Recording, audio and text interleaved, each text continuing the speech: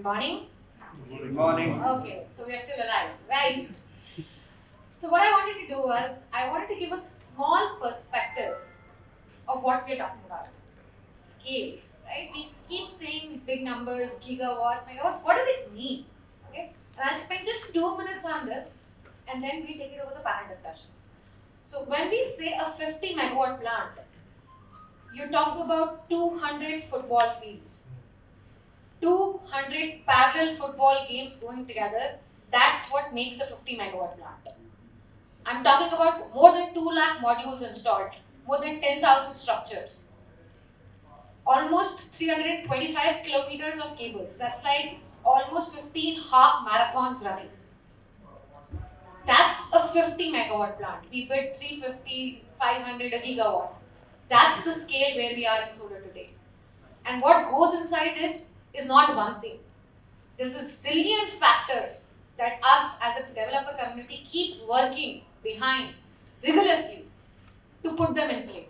You know, whether it's financing, payment, whether it's uh, financing, payment, plant design, uh, how the design will look like, what kind of structures will we take, what kind of debt will we have, what will be the revenue cycle.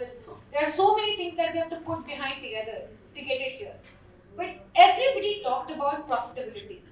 You know, we talked about long-term sustainability. Let's look at what does a solar plant look like, and this is the reason why I wanted the presentation. If you see the orange line, that's the upfront capex we put in. You know, a large chunk of money we put in upfront. Sorry. A large chunk of money we put in upfront, thinking to get good returns. At the end of the day, we are also here to make money as a solar IPP, right? We are doing this for the good of the society, but we also want returns on our plant.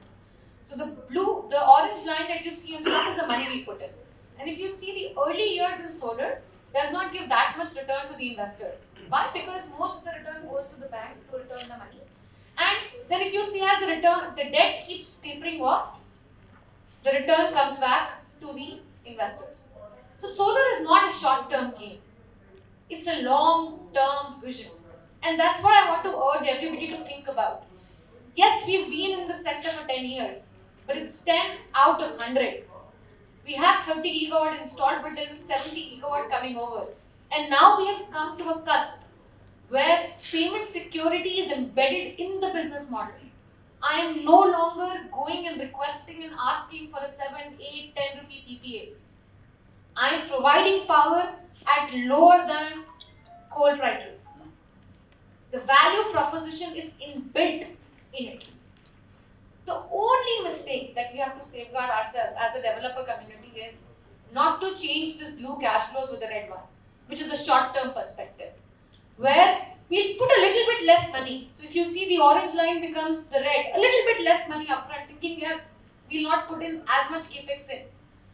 You'll get the same cash flows in the start, but see where you'll go in the future. And that's the future we have to safeguard all the choices that we discussed today in terms of profitability, execution, uh, module design, all of that comes with this judicial decision making. And that's where the key comes now for the solar sector. We have learned, we have built capability.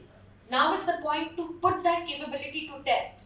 And as a group, maturely share learnings, together build, and be in a state where we are not just about megawatts, we are about megawatt hours. We are about the units we generate.